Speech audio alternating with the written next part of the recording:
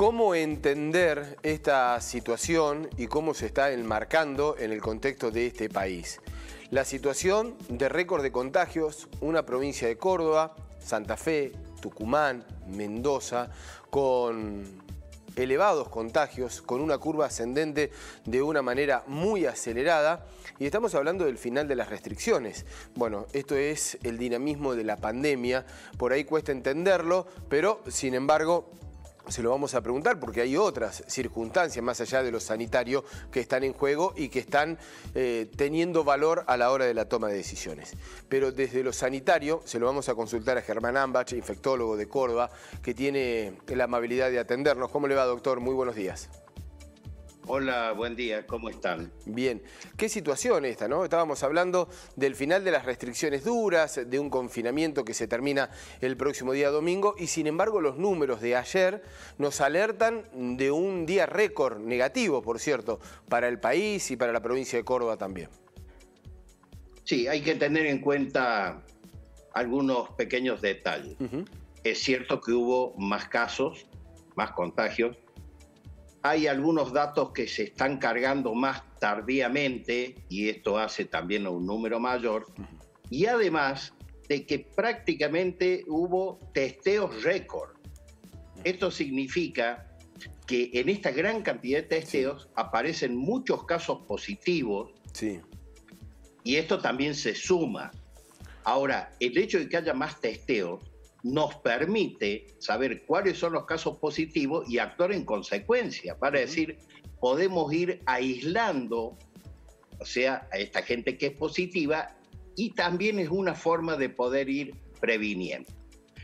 Ahora, ¿qué va a pasar el lunes? Sí.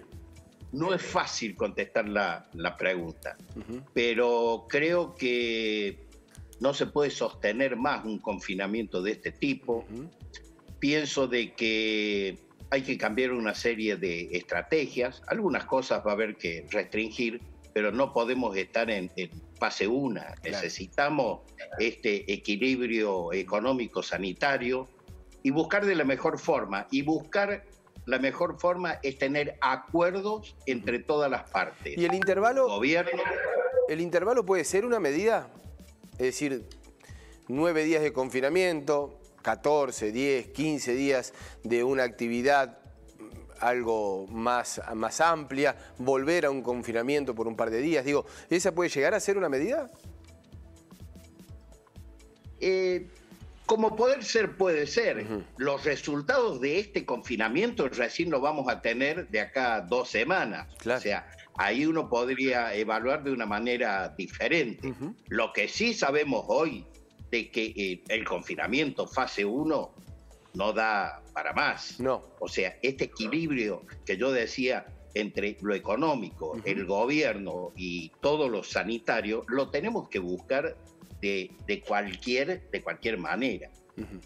Hay algunas cosas que quizás ya no son creíbles y esto es lo, esto es lo que más perjudica a, este gran movimiento de, casos donde la gente se contagia. Tengamos en cuenta de que hoy se están contagiando la gente joven. Sí. Estamos hablando mayores de 14 años y en el promedio de internación estamos viendo de 20 a 49. Ya no es la gente de 70 o más, sino la gente joven. Y esto es problemático. Fíjense de que cuando se habla de la presencialidad, los que menos se ven son de 4 a 12 años, lo cual quiere decir que el colegio primario no debería eh, cerrarse, porque, porque los contagios no se producen ahí. No llevan los chicos la enfermedad del colegio a las casas, sino que los padres, que son jóvenes, son los que contagian a sus propios hijos. O sea, en todo este, eh, en todo este mare magnum de, de, cosas, de situaciones, debemos educarnos de una vez por todas y entender de que existe esta enfermedad, se producen los contagios, es gente joven, es la gente que necesitamos para que el país sea productivo y para peor, se está muriendo gente joven. Entonces, de una vez por todas, debemos entender de que no tiene que haber reuniones sociales, no tiene que haber reuniones clandestinas con gran eh, aglomeramiento de, gente. Debemos entenderlo de una vez. No hay otra forma. No hay otra. Las vacunas que tenemos todavía son pocas. Son pocas. Ahora, si tuviésemos el 70% de la población, vacunada, esta inmunidad de rebaño, haríamos lo mismo que se hizo en, Israel, lo mismo que se hizo en Estados Unidos, el barbijo. Pero para eso todavía, doctor, para eso todavía falta mucho. Si no, no. Sí, sí, para eso falta mucho. Le quería hablar, en realidad le quería preguntar, consultar sobre los testeos. Usted habló, habló de que se ha ampliado la capacidad de testeo, pero el, la positividad, la que se remarca, es muy alta. ¿Qué significa eso? ¿Que el virus está transitando y que hay, que hay que ir a encontrarlo? Porque es una positividad realmente por encima del 40%, lo que se ha marcado en los últimos días. Exacto, o sea, mientras más testeos tengamos, más posibilidades de encontrar aquellos, aquellos individuos que tienen el virus y que son asintomáticos, o sea, no tienen síntomas.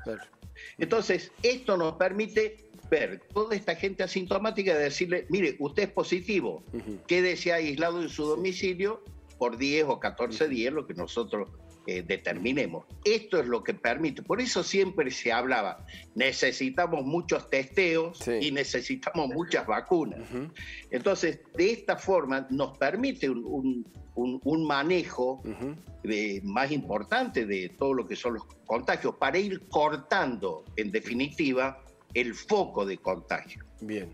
El sistema de salud, ¿cómo, cómo lo ve? ¿Está resentido, está saturado, cansado? Bueno, el sistema de salud, sin lugar a dudas. El otro día yo opinaba en las reuniones que el sistema de salud está cansado. Hace un año y pico que venimos con esto. Eh, altera, nos altera psicológicamente porque es algo que no lo vivimos nunca y lo tenemos que vivir, sobre todo terapistas, infectólogos que tienen que estar al pie del cañón, como se dice, no ganan bien, o sea, no se gana bien, creo que tiene que haber un aumento sustancial en, los sueldos.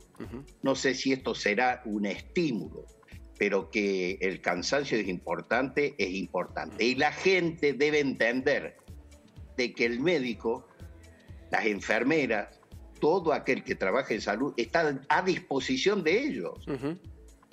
Y estar a disposición de ellos significa de que no podemos llegar hoy a una etapa como ocurrió en Italia, donde teníamos que elegir qué paciente va al respirador. Entonces, si pensamos de esta forma, la gente va a cuidarse un poco y va a evitar eh, el contacto. Se tiene que educar. Todavía no se educó. No. Está informado, pero no educada. Sí, es la, parte más difícil, así parece. Doctor, ¿hasta cuándo vamos a tener crecimientos de contagio? Hablábamos de la efectividad de este confinamiento que lo vamos a ver dentro de algunos días. ¿Vamos a tener crecimiento en los próximos días? Porque venimos superándonos lamentablemente con la cantidad de contagios. Es probable que sí, es probable que tengamos más contagios y yo insisto siempre en lo mismo, de que tengamos más o menos contagios depende de nosotros mismos. Bien. Porque hay dos cosas, o las vacunas o nuestra vacuna, cuidarnos nosotros mismos, eh, ser, colaboradores, eh, no hacer lo que no hay que hacer y esta es la forma de bajar los contagios. No existe otra, no existe otra. Distanciamiento, seguir usando el barbijo, si voy a un restaurante, no me lo saco. Me lo saco exclusivamente cuando voy a comer o cuando voy a, beber algo. Y me lo vuelvo a poner, porque el contagio está cuando yo hablo, no cuando estoy tomando una gaseosa o cuando estoy eh, ingiriendo un alimento. Es cuando hablo. Entonces, ahí lo debo seguir usando. Y esta es la forma de educar. No hay otra. De esta forma podemos evitar los contagios. Doctor Germán Ambas, infectólogo de Córdoba, asesor de gobierno provincial, por supuesto, entre otros. Muchísimas gracias por el contacto para con Telediario Federal. Bueno, gracias a ustedes y a disposición. Hasta luego. Un gusto. Un gusto como siempre.